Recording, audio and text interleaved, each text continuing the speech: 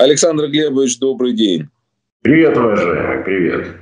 Я очень рад вас видеть, очень рад вас видеть. И сразу хочу с места в карьер. Скажите, пожалуйста, вы же Путина хорошо знаете лично, правильно? Ну, нельзя сказать, что очень хорошо. Не бывает людей, которые хорошо знают чекистов.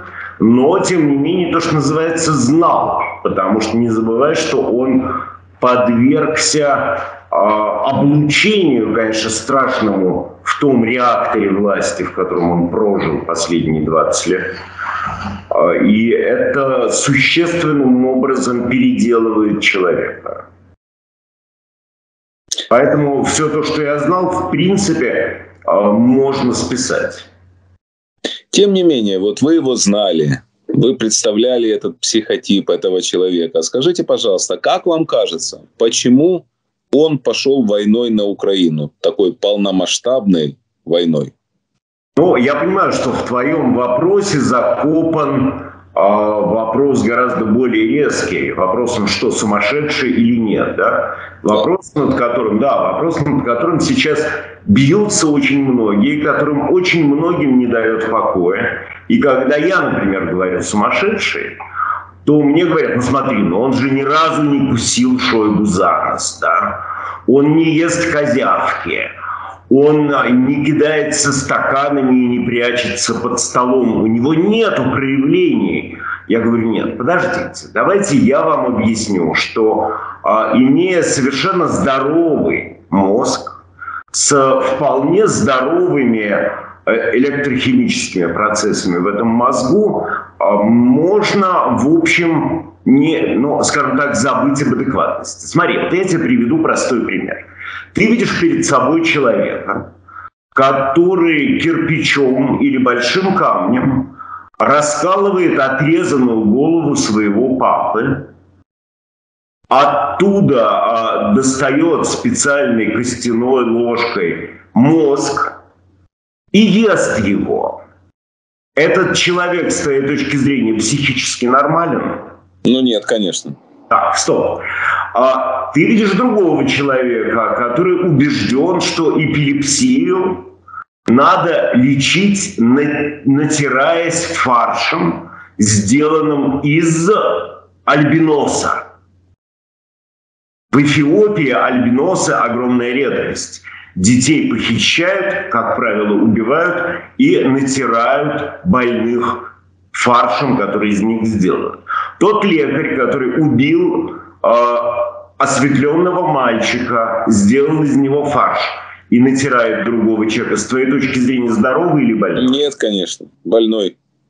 Ну вот я тебя должен огорчить, потому что с точки зрения любого эфиопа, с точки зрения представителя любой культуры Новой Гвинеи, племени Фора, например, и тот, кто ест мозг своего отца, получает знания, опыт, представление о жизни.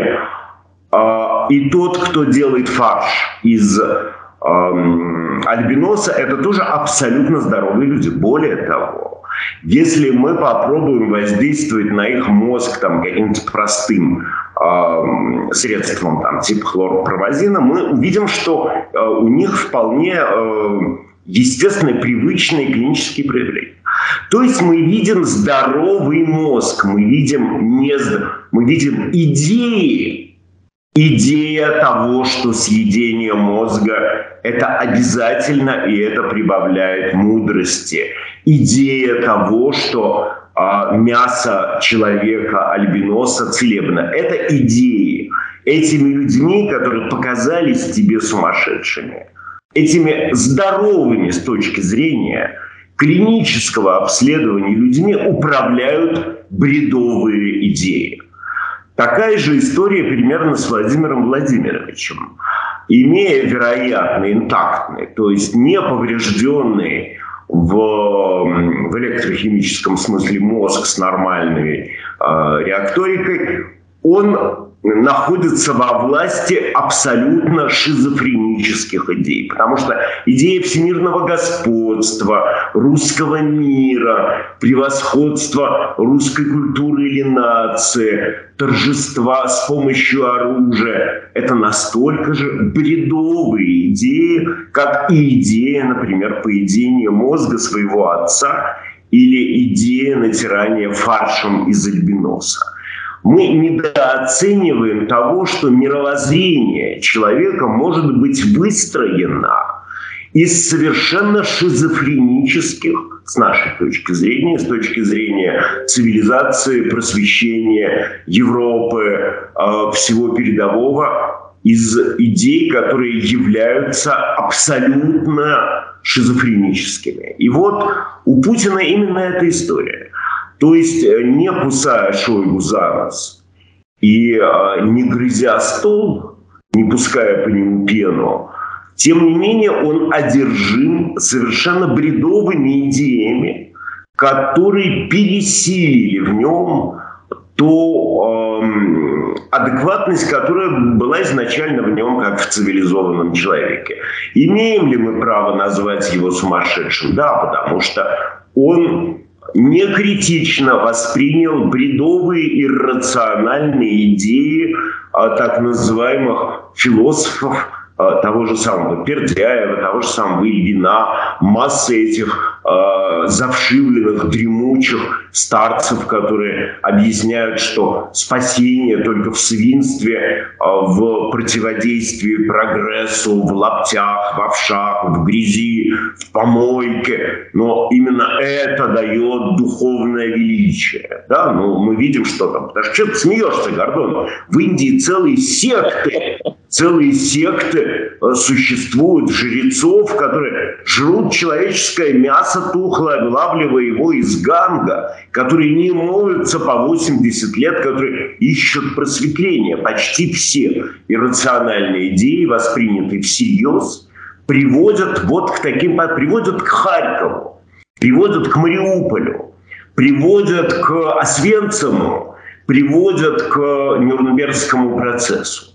И таких идиотов мы видели за историю человечества очень много, потому что даже тот же самый Тимур, даже тот же самый Чингисхан, все остальные бредуны-завоеватели, они же руководствовались идеологией, идеями, отравленными и патологическими в какой момент произошло отравление слабого мозга Владимира Владимировича вот этими патологическими бредовыми идеями э, иррациональными, которые э, вынудили его сочинить, блядь, сочинить нацистов на Украине. Хоть бы что-нибудь более правдоподобное, хоть то, что там вы наполовину марсиане и захвачены э, давно планетой Марс. Хоть что-нибудь более правдоподобное. А что вы там все наркоманы, и поэтому вас надо бомбить. Вот мы, я думаю, можем на этом простом примере, а, которому мы благодарны за имя Флора, это в Новой Гвинее, это со скалыванием головы отца, это, кстати, выяснилось интересным образом, а, потому что есть такая болезнь губчатая энцефалопатия, которая а, передается при поедении мозга больного человека. Только за счет этого болезнь была открыта. А, и благодарны, наверное, эфиопским э, дегенератам, которые делают фарш из мальчиков. Поэтому мы имеем представление о том, что да, Владимиром Владимировичем владеют токсичные, бредовые, шизофренические идеи. Является ли он сумасшедшим?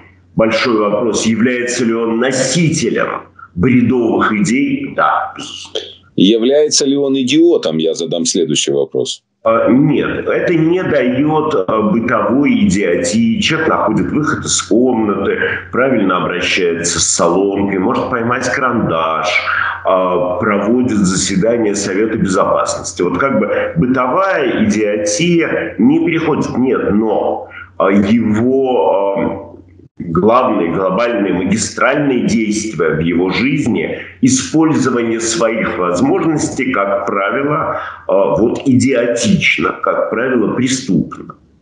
Потому что ведь э, совершенно не важно, что ты делаешь, бомбишь ты Харьков, или ты э, счастлив при виде того, как прикованная к столбу в костре женщина а, беременная лопается, и из нее выпадает плод, а вокруг стоит, э, э, вокруг стоит тысячи человек, которые этому рукоплещут. Ведь ты подумай, что были э, на Земле периоды, когда эти идеи э, заставляли жечь людей живьем, и это вызывало колоссальное общественное одобрение.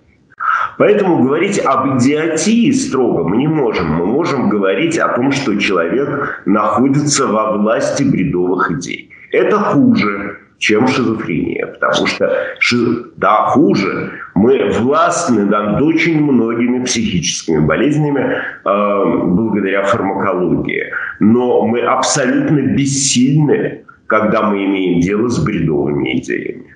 Александр Глебович, вы сейчас вспомнили о том, что Путин проводит заседание Совета Безопасности. Я э, посмотрел прямую, не прямую, кстати. Они говорили, что прямую россияне, но это не прямая трансляция заседания Совета Безопасности, которое на э, Совет Безопасности давал добро на э, да, да, да. да. да. А, слушайте, вы же этих людей лично знаете, большинство из этих людей. Какое унылое зрелище. Я-то думал, что Россию управляют, наверное, очень умные люди, а это же стадо баранов. Нет, я думаю, что э, стадо баранов – это абсолютно незаслуженный комплимент. А, вы, вероятно, очень плохо знаете баранов и плохо о них думаете. Эти существа в своей деградации – опустились не то, что ниже баранов. Я не могу найти в зоологии аналог столь э, преступного и позорного поведения. Ну, понимаешь, но ведь э, не забывай, что там присутствовали практически все те люди, которые спаяны э, диким страхом. Они понимают, что Путин – это не только карающая их лично рука, при случае. Путин – это э, некая ну, абсолютная сила, частью которой являются и они сами. Не будет Путина, от них останутся маленькие грязные лужицы. Они никто. Они не э, интеллектуальны, у них нет опыта, они не интересны абсолютно, они ничего собой не представляют. Даже Дмитрий Медведев?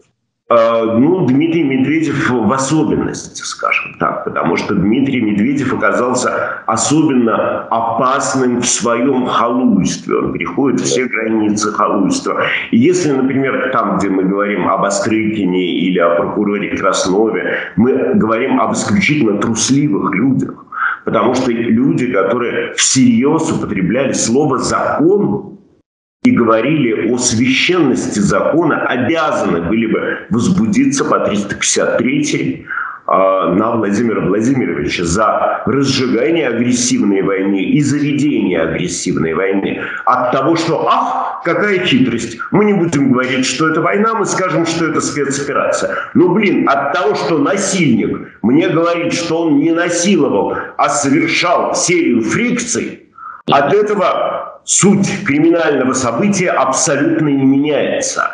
И прокуратура, и Следственный комитет обязаны были возбудить уголовный хотя бы административку. Да? Когда им в эфире чеченцы, ухмыляясь, а говорят, что они будут отрезать такому-то голову, ну хотя бы штрафик вы им выпишите, хотя бы полторы тысячи, чтобы... Страшно. Страшно. Страшно. Страшно а не страшно а, потакать. Понимаешь, мы говорим об огромном количестве, когда мы говорим там о так называемых правоохранителях, это лакеи в погонах. И когда мы говорим о всех остальных, кто присутствовал на этом позорном совбезе. Матвиенко, гражданка, бывшая гражданка, уроженка Украины, слушайте, позор какой тоже. Ну, слушай, она, мы ее, мы, я из Питера ее лично сдавал в Москву, она еще была нормальная тетка.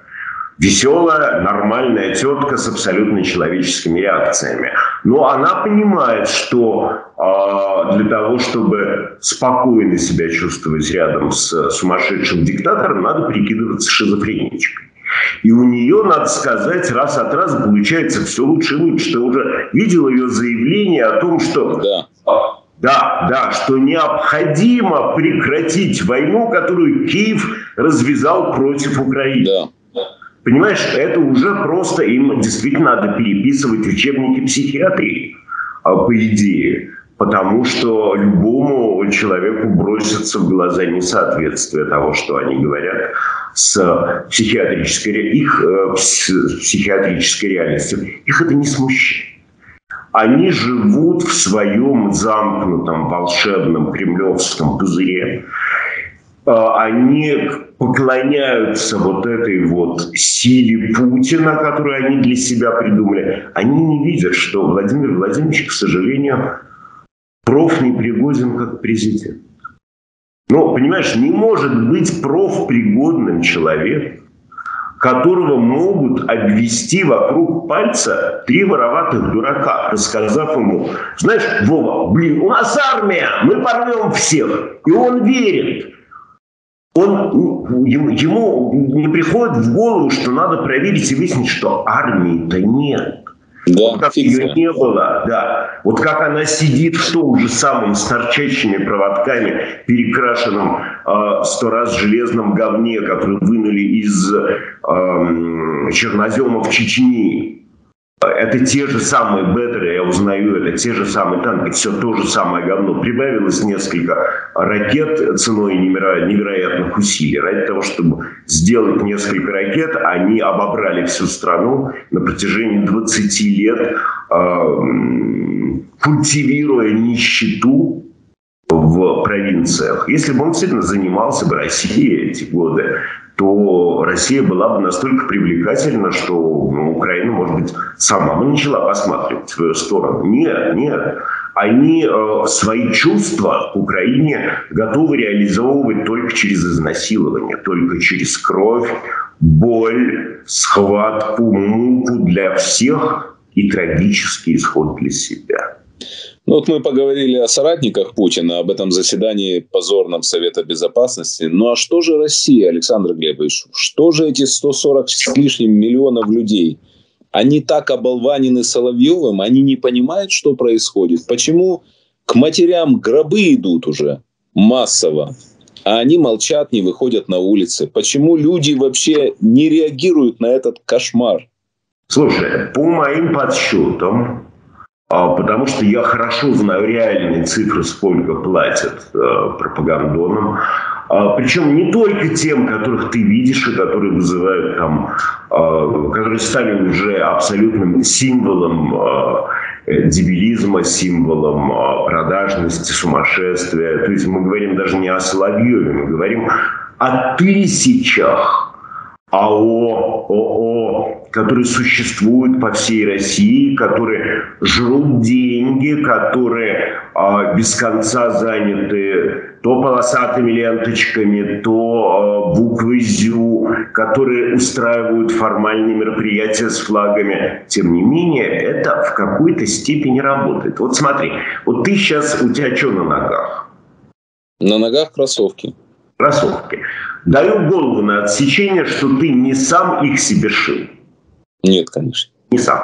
То есть ты доверился производителю кроссовок, одел их на ногу а, на ноги. Вот точно так же у множества простых людей, которые вкалывают в шахтах, у компьютеров, а, в магазинах, в торговле, за баранкой. Они доверяют изготовить мнение кому-то.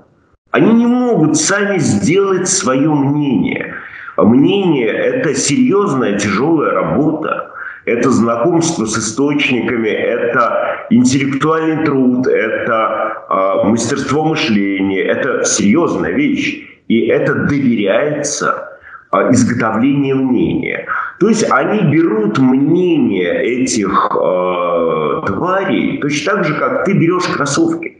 Только потому, что у них нет, да и не может быть никакого своего мнения. А на протяжении 20 лет, если ты заметил, а вот это уничтожение свободы слова, уничтожение прессы, а, заиноагенчивание, бесконечные штрафы, бесконечные суды, бесконечные посадки. Это избавило их от всякой конкуренции.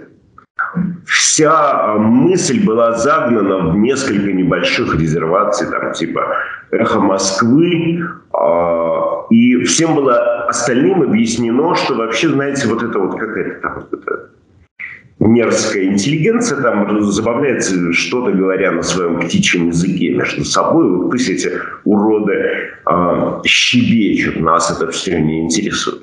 Поэтому не было ни единого, э, ни единого противоядия предложено, если ты обратишь внимание, ни один федеральный канал, кроме специально выученных в лабораториях выращенных гомункулусов, которые изображали оппозиционеров, а, никогда не предлагал ни одной альтернативной точки зрения. Конечно, они добились своего, потому что э, человек примитивная тварь. И более того, он э, тяжело нагруженная своей жизнью и своим выживанием, своими ипотеками, детьми, своей униженностью перед э, властью, они взяли эти, эти мнения как основополагающие, а потом выяснили, что им очень комфортно с этими мнениями. Потому что э, возвращение в пещеру, человек всегда о нем мечтает. На самом деле человеку очень некомфортно мышления. Очень, да, да, да, для этого существует, для, именно для этого, для того, чтобы вернуться в это состояние, существуют наркотики. Для этого существует алкоголь, для этого существует масса факторов, которые называются как а, факторы, вызывающие ИСС, измененное состояние сознания.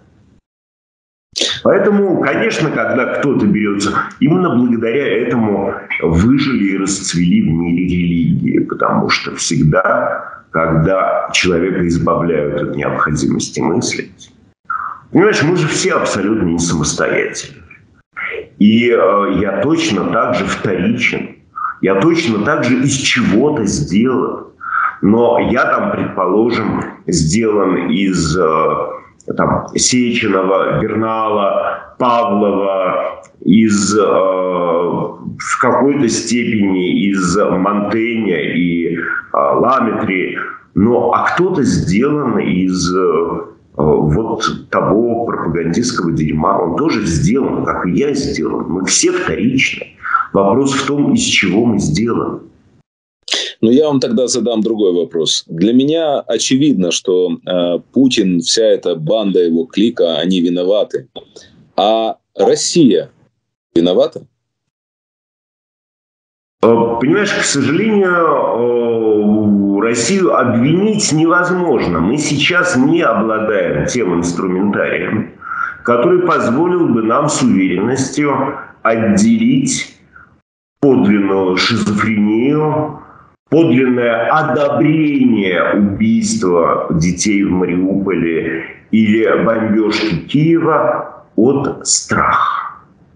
Ведь э, если мы посмотрим сейчас те замечательные совершенно э, каналы, в которых энтузиасты собирают рожи всех тех, кто кричит про войну, про Донбасс, про 8 лет. Хотя, я уже миллион раз говорил, я устал повторять, да, для того, чтобы, если так хотелось отрегулировать Донбасс, вводите миротворцев европейских, все, вопрос закрыт. Больше ни единого выстрела, ни одной э, царапины, ни одного даже фингала под глазом не будет у, э, у тех сторон, которые эм, не могут договориться об этом Донбассе. Да? Но, тем не менее, всегда ввод миротворцев блокировала именно российская сторона моя любимая Валентина Ивановна, говорила, это нелогично.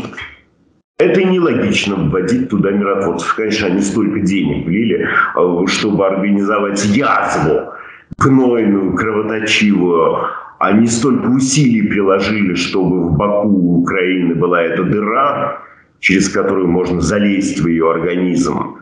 А, и теперь, конечно, миротворцы это нелогично. Ее можно понять. Валентина Ивановна еще была, она еще не так умело маскировалась под шизофреничку. Ну, не смейся, не смейся, Гордон, действительно, вот чтобы уютно чувствовать себя при дворе Путина, лучше всего э, иметь какой-нибудь тяжелый диагноз. Тогда начинают относиться с доверием. То есть Россию виноватой мы считать не будем? А, я... Э... Я имею в виду россиян, которые голосовали за Путина и за всех остальных. Россиян, которые молчат сегодня и убивают детей в Украине. О ком мы говорим? Эти люди в их профессиональные и человеческие обязанности не входит обязанность мыслить. Совершенно нельзя от них этого требовать. Для этого существует тот один или два процента нации, которая берет на себя этот труд, который на самом деле, по сути, ничем не отличается от любого другого труда. От копки канав, от э, прививки деревьев, от пошива обуви или от вождения газели. Это тоже ремесло, мышление, интеллектуальная деятельность, ремесло, которому учатся. И мы не можем к этим э, детям, по сути, э, которых обманули, ведь их обманули. Э, я вижу, что поскольку я в хороших отношениях с очень многими э, создателями этих вот э, э, каналов, в которых собираются все вот эти вот физиономии, рожи, призывы. А, мне рассказывают, какие сумасшедшие деньги предлагают им за то, чтобы изъять свою фотографию из этого страшного списка. Они не только предлагают деньги, они плачут по скайпу или телеграмму, они объясняют, что у них миллион житейских проблем, что их выгонят с работы, что э, их мама не получит лечения, что их выкинут на улицу. Мы сейчас не можем. Понятное дело, что им всем уже стало страшно. Они сейчас в социальных сетях зачищают свои зю, зачищают свои призывы. Они э, но, понимаешь, все равно у меня рука не поднимается на людей, которые избрали э, своей судьбой тяжелый ручной или э, офисный труд, которые не обязаны понимать, которые должны взять понимание от меня или от любого другого профессионала в этой области. Я, тем не менее, э, то есть я вот эту вот э, брезгливую, брезгливый ужас, который охватывает любого нормального человека, когда, ну, идет бабка, тетка без трех зубов с авоськами, ну, суют ей микрофон а, под нос. Вот расскажите нам про войну в Украине. Да правильно говорит тетка. Ну, не поднимается у меня рука назвать ее преступницей, потому что она не обязана разбираться, за нее это должен был сделать кто-то другой. И ей обязаны были предложить этот вариант, возможно, она выбрала бы вариант э, светлый, вариант ясный, вариант человеческий и цивилизованный. Но ей 20 лет. 20 лет к нему, к этому выбору был абсолютно перекрыт подход. Они опомнятся, они опомнятся, они поймут, что их обманули. Они еще этих идиотов, которые э, заклинали и призывали и восторгались войной, они их еще отлавливать и рвать на куски будут.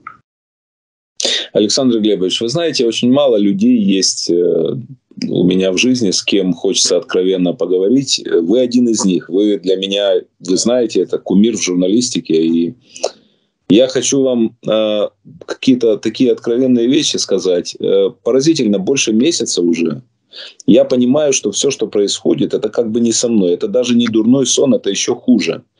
Но кто мог представить, что российская армия будет бомбить роддома, дома престарелых, школы, детские садики, убивать младенцев, детей, стариков, женщин насиловать. Это настолько... Это фантасмагория какая-то.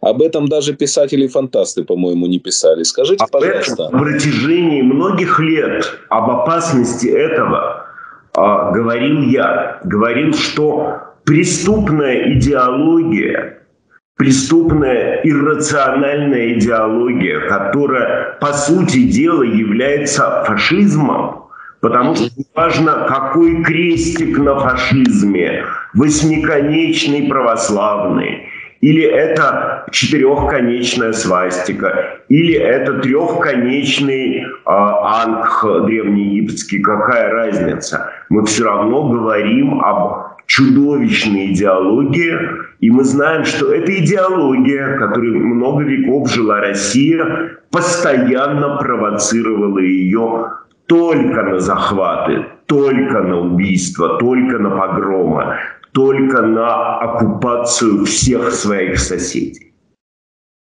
Мы Скажите, пожалуйста, другого. а как с этим жить? Вот миллионам людей, которые сейчас оказались в этой страшной мясорубке.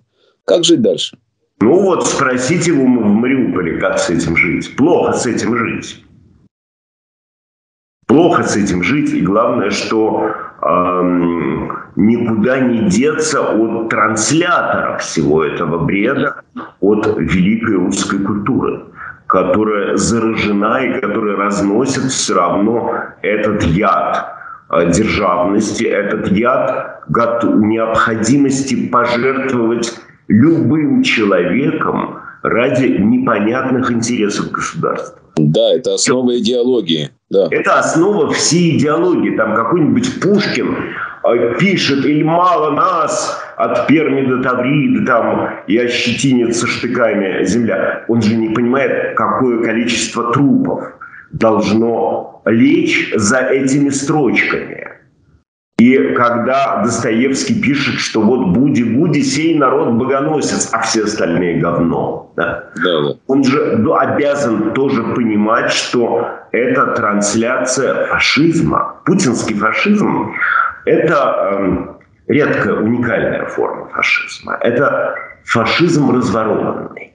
В процессе фашизации фашизма, он был разворован. Благодаря этому а, вы сейчас погоните их из-под Киева со всей территории Украины. Это фашизм, который разворовал сам себя. То, что никогда... Понятно, что там идеалы Владимира Владимировича в лице... Потрясающая формулировка. Фашизм, который разворовал сам себя. Гениально.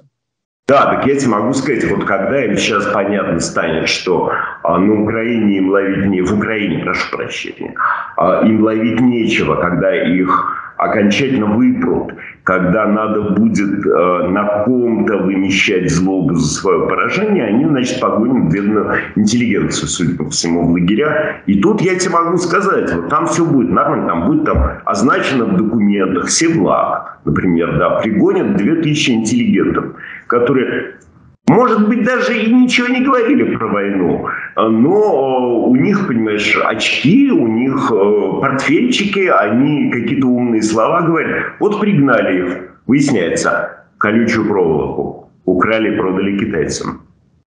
А столбы ограждения по периметру, судя по всему, отправили контрабанды в Бельгию.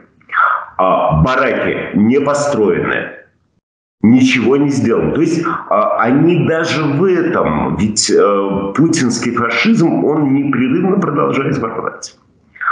И это единственное, кстати говоря, что в нем есть хорошего. Да. Да, потому что это единственное, что эм, бредовую идею э, стать директором Вселенной который там теплится в голове старого чекиста, а делает, скажем так, позорный, смешной и абсолютно неосуществимый. А скажите, пожалуйста, вот когда вы смотрите на э, подвиги украинцев, когда вы видите э, Мариуполь, который удерживает столько Азов, когда вы видите Чернигов, который... Не только Азов, там Азов герои, безусловно, мы еще поговорим про Азов. Но там, я знаю, есть еще парочка подразделений, но Конечно. основная, основная слава за Мариуполь, конечно, это слава Азова когда мы видим Чернигов, который сопротивляется без света, без тепла, без воды. Э, это вообще фантастические примеры, и люди стоят и не уходят. Что вы думаете об этом? Я думаю, что э, я в данной ситуации дурака. Потому что я ведь э, всегда очень жестко относился к любой разновидности патриотизма. И для меня это всегда было, в общем, не самым лучшим свойством человека, но я понимаю, что в некоторых ситуациях он является эм, великой исцеляющей и одухотворяющей силой. Я ведь э, довольно близко познакомился с ребятами из Азова, которых называют нацистами. Знаешь, я тебе могу сказать, мне тут же немедленно хлынули э, в Телеграм в личку какие-то видео с э, какими-то картинками, с какими-то шествиями, с, с какой-то символикой, с какими-то заявлениями этих ребят, которые были несколько лет назад. Да мне дела нет до того, что было до войны. Все аннулировано. Реальность наша началась в феврале месяце 24 числа. И только в этой реальности мы узнали, кто есть кто. То, потому что никогда по ритуалам, э, символике, по э, театрализованным э, действиям, по риторике ничего нельзя сказать и судить. Только дела. И я-то знаю, что Азов, которого называют нацистами, помимо, да, помимо воинского героизма, вот как Азов выводит детей из-под обстрела, встают кольцом, в середине дети и выходят, подставляя себя. И это нацисты? Нет. Они работают, как я понимаю, еще и спасателями практическими, потому что э, МЧС э, перебита, э, МЧС э, в, в Мариуполе достаточно, ну, скажем так, никогда не было особо сильной структуры.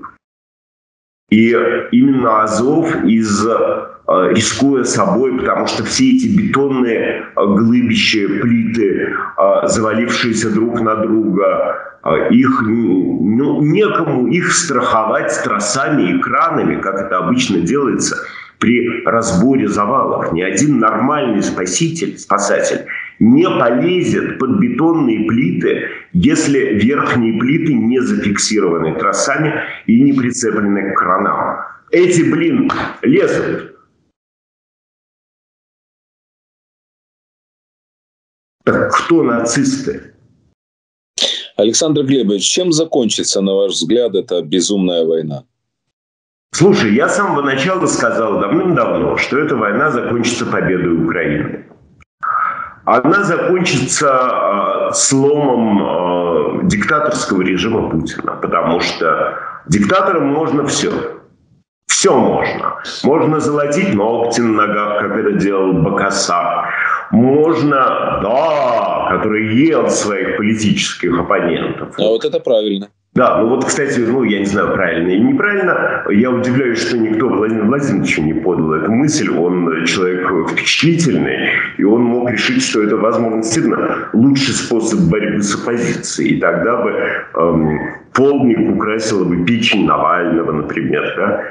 Э, и ты знаешь, ты улыбаешься, а мы бы все уже не удивились. И весь мир бы тоже уже не удивился. Поэтому, а что, подожди, я потерял нить. Мы говорили о том, чем война закончится. Война закончится победой Украины и крушением путинского режима. Это если кратко. А, назвать э, по датам, по часам я не могу, потому что постоянно примешиваются а, новые факторы. Но эти все новые факторы из разряда ожидаемых. И точно так же, как я, ваш покорный слуга, предсказал а, фантастический героизм украинской армии. Еще когда эта война оказалась мифом и невзоровской фантазией, точно так же я предсказываю, что будет и крушение, будет и э, крушение режима, будет и э, победа Украины. А какое будущее ждет Путина, на ваш взгляд? А, трагическое. Трагическое. Ну вот какое? А вот не знаю я, не понимаю, честно говоря, потому что э, гадать не люблю. Я умею, вот у меня принцип совершенно другой. Есть э, ряд фактов, и я обязан сделать из них единственно возможный вывод. Но мне необходим этот ряд фактов. И э, необходимо, чтобы они находились в очень живой динамике и в постоянных соотношениях э, друг с другом. То есть не так, э, не так важна фактура, да, как их последовательность. Ну хорошо, вы хорошо знаете э, российский истеблишмент политический. Вы были депутатом Государственной Думы четыре раза, да? Да. 16 лет или сколько? Ну, это вообще не надо всерьез воспринимать, потому что э, я там был, по-моему, четыре раза. По одному разу на созыв. Да, примерно, примерно. Я вообще как бы выбирали меня, я не тратил на это ни копейки. Это все было, скажем так, а, в рамках той сумасшедшей популярности, которая у меня а, была на тот э, период в России. И а, плюс и тогда, тогда единственное, что меня оправдывает, нафига я вообще в это все лез. Я ведь и тогда ухитрялся э, все равно быть совершенно нестерпимым. Я, да, да, да, да. И этот депутатский мандат был для меня на самом деле просто щитом для моей тогда журналистской работы. Он мне очень много позволял, и он очень много раз меня выручал. Так что я не хочу уж совсем говорить про то, что э, совсем был бред. Но когда закончилась когда закончилось это, прошу прощения, пойми меня правильно это слово, я употребляю не так, как тебе послышится, когда закончилась эта одномандатность и э, наступила многопартийность, я сказал, не, знаете, ребята, я вот за свою жизнь один раз только был в партии. Знаешь, в какой? Нет. Это была партия басов в хоре Никольского собора. Ни в каких других партиях я никогда не состоял, не состою. Я вообще абсолютно сам по себе, как ты видишь, я даже из российской так называемой оппозиции э, не сильно дружу и не сильно контактирую. У меня там нет эм, близких людей или реальных единомышленников. Я не участвую в их акциях. Но я обычно объясняю, что, знаете, я не участвую в, мирных, в мирном протесте. Но я не случайно вас э, спросил о Думе. Дума, думай, ладно, вы же хорошо знаете весь этот э, истеблишмент российский. Скажите, пожалуйста, способны, на ваш взгляд, э, наиболее решительные ребята из близкого окружения Путина прийти к нему однажды и сказать, Вова, все пошло не так, хватит? Нет, нет. Насколько я знаю, нет, но вот знаешь, как тот волшебник, который доводит тебя до границ э, безумного леса и говорит, что дальше ты идешь сам. Я не знаю, я не могу здесь. Э, я очень серьезно порой отношусь к своим словам. Меня научила эта война. Когда эм, к своему глубочайшему разочарованию я оказался на стороне добра. Когда я вынужден был предать свои идеалы продажности – бессовестности, цинизма и э, пофигизма, да. Ну, вот так вышло. Я считаю, что это очень несправедливо. Можно бы, судьба могла бы избрать кого-нибудь другого, а я бы дальше чувствовал себя великолепно в качестве мерзавца. Но вот так вышло, что эта война стала и моей войной, плюс, ну, это как бы у Российской Федерации хватило тупости объявить войну не только Украину, Украине, но еще и мне, да. И единственный звонок, который я сделал после этого объявления мне уголовного дела, это был дать звонок в очень высокую приемную, где я объяснил, что, ребята, вы мудаки, и войну со мной вы проиграете точно так же, как вы проиграете войну с Украиной. Почему я это говорю с уверенностью? Потому что их идеология, их э, идеологемы – это такое же устаревшее, с торчащими проводами, сто раз перекрашенное говно, не выдерживающее джавелинов, которые идут отсюда. Понимаешь, да? Вот да. не выдерживающие э, прямого попадания и даже кривого. Все, что они могут предложить, все, что они могут э, влить в уши, это, в общем, очень устарелое, скучное, казенное говно, которое давно уже не котируется. Не свежее даже говно. Совершенно верно. Поэтому ну, знаешь, я, я не знаю, тут, может быть, есть какие-то гурманы, которые э, предпочитают свежее говно не свежему говну. Да, да, нет, нет.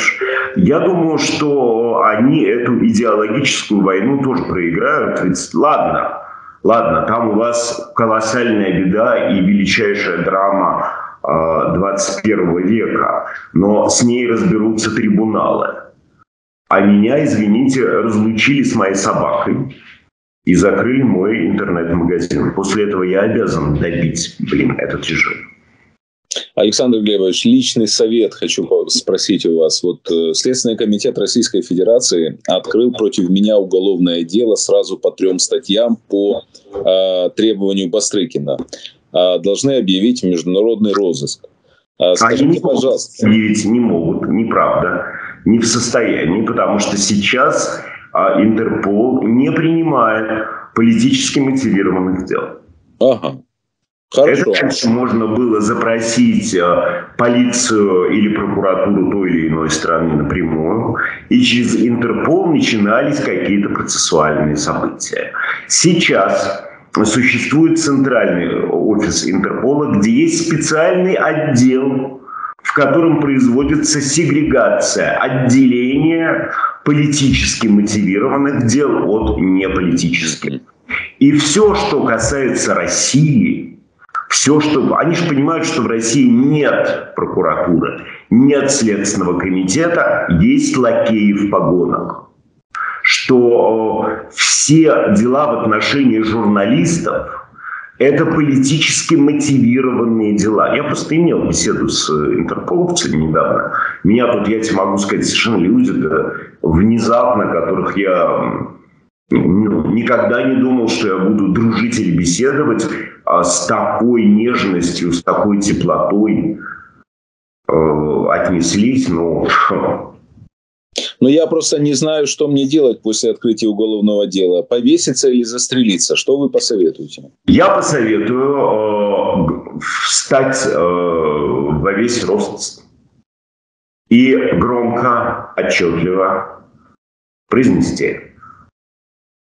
Русский военный корабль, иди нахуй. Так. Слово «корабль» можно заменить на... Э, Следственный комитет России. Следственный комитет, Русский военный следственный комитет. Иди нахуй. Вот так и нужно сделать. И э, ничего другого не предполагается. Они еще извиняться приедут. Милый просто наберись терпения. Потому что ведь не забывай, что смена режима приведет к неминуемой ротации э, руководства. Там есть, э, есть ребята э, абсолютно современные, более того, вот эти вот, которые чокнуты на этом законе, которые действительно пришли служить закону. А они видят, что вместо служения закона их бросили на обслуживание диктатуры. И э, я подозреваю, что там еще будут, вот когда все начнет э, заваливаться и разрушаться, там будут еще серьезные, большие притурбации. Но я как бы, ты же понимаешь, да, я, у меня всегда с благоразумием было очень плохо. Ну и тут, коль скоро объявили мне войну, я вызов принял. Вы сейчас в безопасности? Да, настолько, насколько мы все можем быть в безопасности. Сейчас, да, я тебе говорю, что множество людей, от которых я ну никак не ожидал ни помощи, ни поддержки, а, я действительно оказался, как бы, грубо говоря, за пределами страны, не имея возможности вернуться. А, абсолютно в чистом поле. Просто вот вообще даже... Без одежды наверняка. Да мы ехали на три дня в Израиль дать лекцию, э, сожрать с Белковским креветок и вернуться. Так. Э, никаких намерений, куда бы то ни было, бежать а сквозь мглу и скрываться у нас не было, просто потому что на тот момент это казалось неактуальным. Я предполагал, что наше соглашение, я, ребята, вам не устраиваю государственный переворот и никак не использую свои, э, ну, скажем так, потенциалы, э, как они любят выражаться, это идиотское выражение, но они его употребляют там харизматическое никак не использую, а вы не мешаете мне работать и не суете свои поганые трусливые носы в мою профессию. Я говорю то, что считаю нужным. Хорошо, я буду помягче чуть-чуть. Хорошо, я не буду говорить всего, что я о вас, мудаках, думаю. Пожалуйста. Просто потому что, ну, мне это и не очень интересно. Но анализировать я буду так, как я считаю нужным. И они действительно очень долгое время, эм, очень долгое время вели себя прилично, потому что понимали, что со мной вообще беседовать невозможно. Вот так вот ты представь себе, да, в роли ответственного государственного чиновника, который пробует э, поговорить с Невзоровым о чем-то всерьез. Во-первых, он понимает, что он в любую минуту будет послан нахуй а затем, что этот э, орган, куда он будет послан, будет не просто стандартным, да, а это будет некое страшное чудовище, куда ему придется в результате последовать. Плюс я все умею превратить в балаган, и к ним я вообще не отношусь серьезно. Я поразился, кстати, откуда вы набрали а, в государственные структуры людей и ярких, и мыслящих. Ну, у нас же такого действительно нет. Это же все Свободная правда. страна. Это правда ожившее кладбище, где бродят, э, теряя остатки кожи и одежды, э, зомби, которые э, пытаются коснуться, коснуться друг друга, которые абсолютно ни на что не пригодны и ни к чему не способны. Они еще сохранили способность воровать. Но э, это единственное, что они умели, что они умеют, но это у них, по-моему, и посмертно тоже сохраняется. Михаил Михайлович Жванецкий мне рассказывал, как он шел однажды по привозу, и э, продавец ему говорит, Миша, ну ты скажи, хорошо будет? Жванецкий сказал, хорошо уже было. Скажите, пожалуйста, хорошо будет? Вам, Украине, да.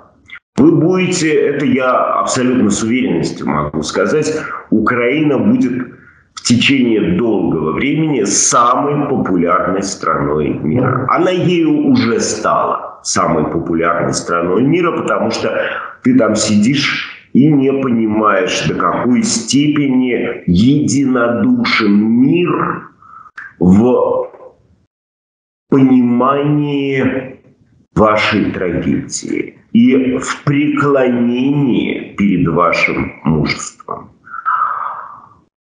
Это тотально. Это не всегда, скажем так, а, с учетом всех нюансов производится, но то, что Украина признается, во-первых, Европой, признается свободной э, страной, свободной безупречно. И вместе с тем в ней есть то, чего нет ни в каких Голландиях. Есть мужество. есть, я подозреваю, но и в Голландиях есть. Оно просто, Голландия далековато от России, и туда еще не прилетала ни одна путинская ракета. Прилетит, сразу эти штуки мгновенно мобилизуют мужество. Но, тем не менее, Европа считает себя расслабленной считает себя э, избыточно толерантной, повернутой там на теме гомосексуализма, э, расизма, антирасизма. Э, а на самом деле, конечно, сейчас Украина показывает, что вот этот характер свободного человека, вот он, вот он здесь. Так за что вас Путин-то мочит? Не за то, что не за то, что ему мерещатся нацисты. До него, наконец, ну, до чекистов долго доходит. До него, наконец, дошло, что в Украине случилась революция. Что в Украине показали, создали прецедент того, что диктатора можно взять и сломать об коленку. Угу что вы опаснейший сосед. Он, может быть, надеялся, что вы затонете в коррупционном говне, что э, вас разберут на детали э, соседи, что э, вы сами станете, скажем так, подобием, продолжением того совка, что вы что железо вспомнит свою форму и вернется. Mm-hmm как никелит титана, нагретый возвращается в свою форму. А он надеялся, но потом он стал понимать, что вот с приходом Зеленского, да, а, когда появился а, человек, которого на тот момент мало кто, кроме его избирателей, воспринимал всерьез, и который оказался великим военным вождем. А до Зеленского у Путина еще были иллюзии. Но когда а, эти иллюзии закончились, э, началась, началась война. И это была, это была контрреволюция Путина. Это была его месть. Александр Глебович, я хочу сказать вам спасибо не только за это интервью, но и за то, что э, в тяжелейших условиях российской реальности вы остались человеком. Ой, мне вот это совершенно не нравится. Вот я тебе могу сказать, я от этого факта не то, что не в восторге. Ты не... Вот слушай, я всегда был самым продажным, самым плохим, самым безнравственным, самым... Я вообще всегда воплощение всей гадости, которые только существуют. И мне вот эта нынешняя навязанная судьбой роль абсолютно не нравится. У вас будет возможность вернуться к истокам. Я надеюсь, но это, дорогой мой, уже после войны. И э, эта война, если скажу, она ведь... Э, другое дело, что она, конечно, безумно мешает работать, потому что в голове нет ничего, кроме войны. А, но и вместе с тем она меня а, а, наделила, обогатила, напитала необыкновенным опытом. Во-первых, она лишила меня там трех четвертей знакомых, потому что вот я, не, вот я этой сегрегацией не занимаюсь. Кто там боится, кто, у кого ипотека, у кого ребенок. А перестали звонить, когда над вами зашевелилось все, да? Вот те, кто звонили всегда, а те, кто не звонил никогда, начали. И, а, а я ведь у меня вот просто поддерживает. Чё? Зю? Слава, это сама... Э, хочешь войны? Оправдываешь спецоперацию? Все, нахуй. Я больше тебя не знаю и никогда не вспомню. У меня нет времени заниматься сегрегацией. Я, к тому же, я, слушай, я же последние три или четыре года каждый эфир э, «Эхо Москвы» дерзко да. заканчивал словами «Слава Украине». Да. Показывая им, что «а я ничего не скрываю, я понимаю, где здесь добро, где здесь зло, где здесь реальный нацизм». Нацизм – это не нашивочки, нацизм – это бомбить роддом. Да. Это и война, конечно, показала, кто есть кто и что есть что. Там только один раз, по-моему, я сделал исключение и уговорил своего старого товарища, которому я был очень обязан, по крайней мере, не делать никаких публичных заявлений и промолчать, потому что вот эта вся поддержка войны, она, конечно, дико дорого обойдется этим поддержаться. И э, люди будут заклеймены на всю жизнь и во всем мире.